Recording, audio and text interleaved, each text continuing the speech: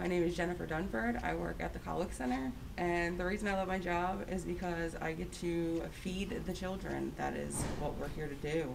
Us feeding them their meals every day is very important to me. I have children of my own, and so for me, that is a big, big part of our job. Excuse me. Yes.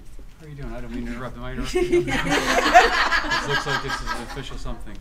Um, I wanted to stop over and say congratulations for being our district SB oh, award winner. Oh, wow, really? Congratulations. Uh,